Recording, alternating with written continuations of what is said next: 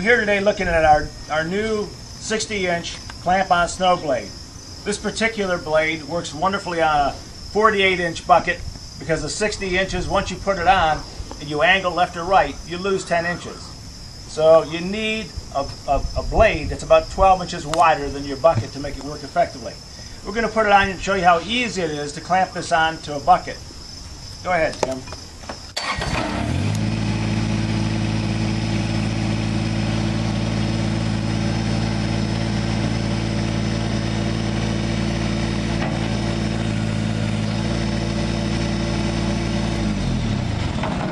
Now it's simply a matter of tightening the clamps down on either side of the bucket.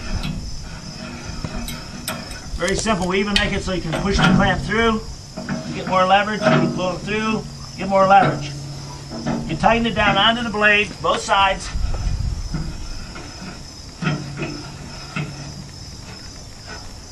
And you're ready to plow.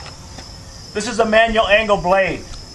Basically to angle it, you're going to pull the center pin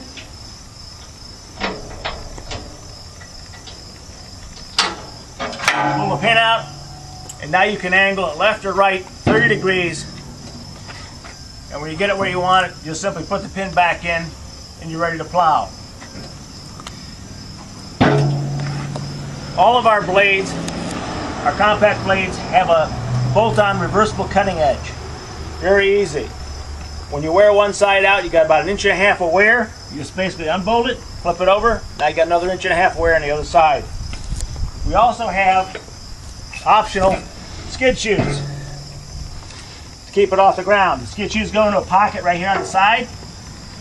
You have a number of washers that you can use to adjust it to the right height so you don't have to dig into your driveway.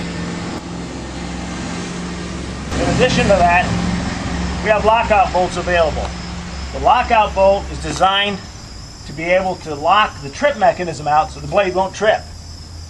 You can use that for light grading then, like you have stone, like loose stone, you want to put some new crushed stone down, you can grade it with the blade.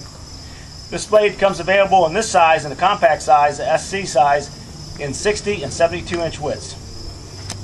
Thanks for watching.